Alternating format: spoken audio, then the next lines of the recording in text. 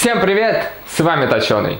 На днях я был озадачен тем, что сразу в нескольких пабликах разнонаправленных, от э, политических до качалочных, появилась новость о том, что один мужик, настоящий герой, когда пришли веганские активисты, взял и на их э, глазах разделал кусок мяса и съел. Если более подробно, то к одному из ресторанов в Торонто пришли веганские активисты с плакатом убийства, со всякими лозунгами и начали привлекать внимание людей и рассказывать людям о том, что они едят трупы, что мясо это убийство и все тому подобное. И вот э, владелец ресторана, во всяком случае, как говорят в пабликах, в этих новостях, подошел к окну, разделал кусок мяса и съел его.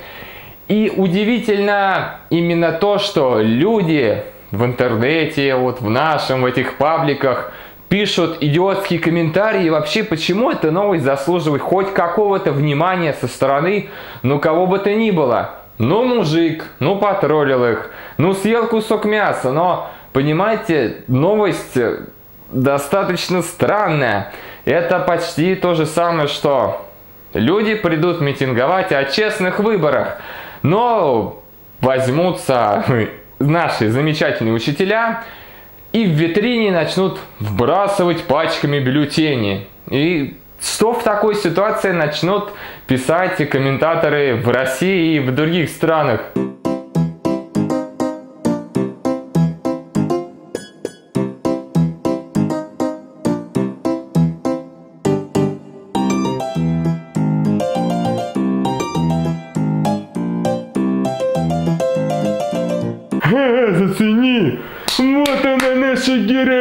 Всегда верил учителей, вот, вот это да! Ну или возьмем пример с коррупцией. Тот же самый митинг, Навальный вывел людей, выходит Медведев из Кремля, берет бюджетные деньги и покупает себе новый эскалейт. Вы держите здесь. И сразу все такие, о, Маринка, видала, да? Ну, премьер настоящий мужик. Или давайте представим ситуацию, что пришли митинговать представители ЛГБТ за свои права, за равные возможности и все такое прочее.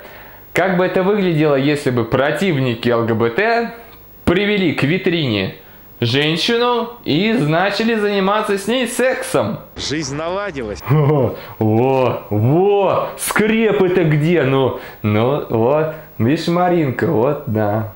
Ну ладно, давайте последний какой-нибудь замечательный пример. Их тут можно привести огромнейшее количество, но у меня есть еще один. Допустим, начали митинговать феминистки. И что в такой ситуации должен сделать настоящий мужик, заслуживающий всеобщего одобрения? Он должен взять женщину, подвести ее к витрине, дать ей по голове и заставить варить борщ. Маринка, иди сюда быстрее, смотри! Вот он герой, вот он, все, все. Так, снимай президента со стены и вешаем его.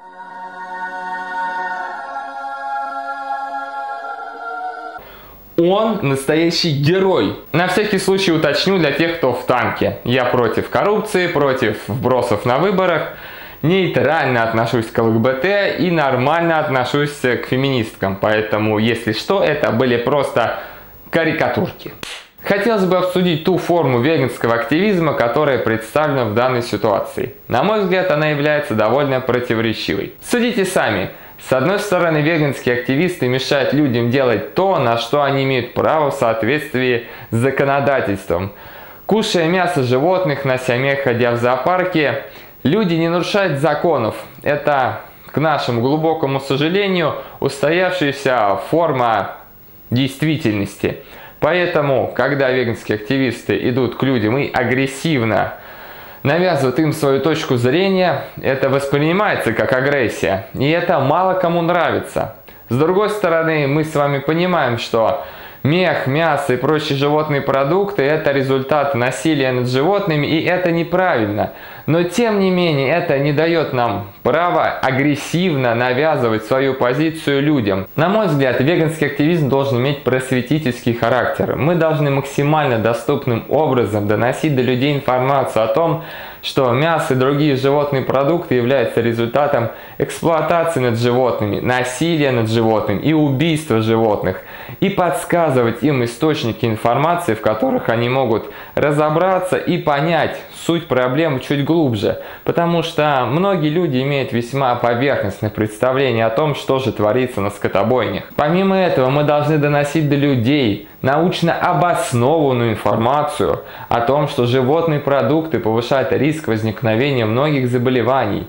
Мы должны показывать им эти исследования, говорить Прочитайте, вот они, заинтересуйтесь, это может спасти вашу жизнь. Параллельно с этим новоиспеченным веганам мы должны объяснять, как правильно питаться, какие добавки принимать, чтобы с ними все было хорошо, они были здоровыми, счастливыми и могли нормально функционировать. Потому что зачастую бывает так, что человек верит в то, что одного апельсина в день достаточно, чтобы 12 вырабатывается сам, и вся остальная чушь. Также мы должны доносить до людей информацию о том, что животноводство негативно влияет на экологию. Причем это влияние даже сильнее, чем у всего транспорта на Земле. Если мы сможем донести до человека всю эту информацию в полном объеме, мы можем до него достучаться, он может прочувствовать сердцем всю боль и страдания животных, он может осознать головой, что потребление животной продукции вредит его здоровью, что животноводческая отрасль вредит экологии, Поэтому вредит и его здоровью опять же. Если мы сможем помочь человеку перейти на этот путь правильно, чтобы он не получил никаких болей, страданий и проблем со здоровьем, то веганов будет становиться больше. Если веганский активизм будет иметь агрессивный характер, если мы будем навязывать людям свою точку зрения, то в глазах общественности мы будем ничем не лучше религиозных фанатиков. Именно поэтому сейчас столько сравнений веганов с ними. А религиозных фанатиков не хотят слушать, не хотят к ним прислушиваться и внимать той информации, которую они несут. Именно из-за агрессии. Поэтому давайте будем действовать умно, будем пропагандировать веганство здраво и, скорее всего, такая форма активизма поможет нам добиться нашей с вами цели. Мне кажется, что именно из-за агрессивности веганского активизма люди в интернете считают человека, который ел мясо на глазах у веганов, героем. И в такой ситуации что-то поменять, ну, сами понимаете, крайне тяжело. Поэтому призываю всех вас быть адекватными, доносить до людей полезную информацию, подписываться на канал, смотреть предыдущие ролики. С вами был Точеный. Пока.